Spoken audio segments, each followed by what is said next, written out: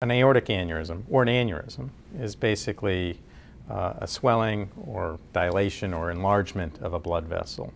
So we're kind of like a balloon that's expanding, that the wall of that vessel has weakened, and then the artery kind of balloons out. When it's an abdominal aortic aneurysm, that's known as a AAA or AAA. Uh, it actually is quite a common problem. Um, it's the 13th leading cause of death in the United States and the 10th leading cause of death in men in the United States because it's slightly more prevalent in men. The risk with aneurysms is that as that aorta continues to dilate and increase in size, that wall becomes ever weaker and it can rupture. And rupture commonly results in death, unfortunately.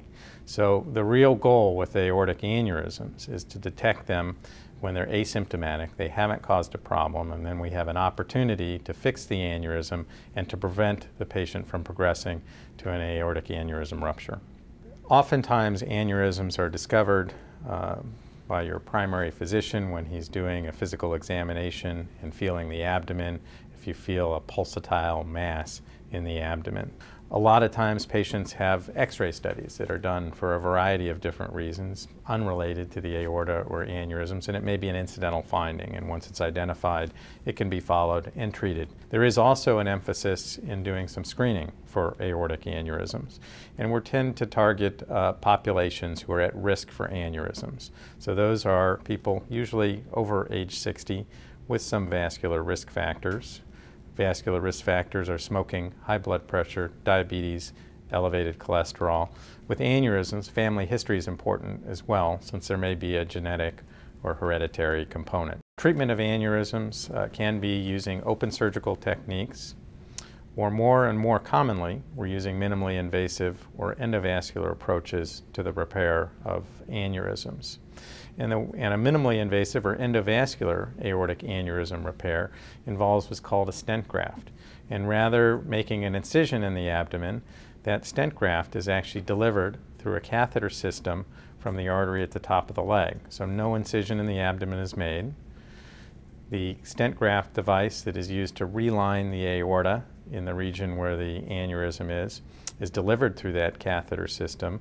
And that can even be done uh, oftentimes without any incisions and sometimes even without a general anesthetic. The benefit of the endovascular repair is that it's much less for the patient to go through.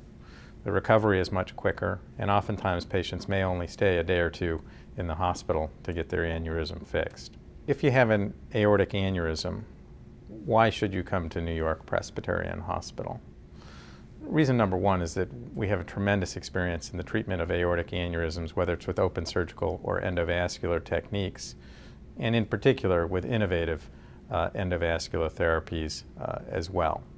We're involved in a number of clinical studies focusing on the development of new and innovative stent graft technology to treat those aneurysms, which previously were untreatable with endovascular or minimally invasive techniques.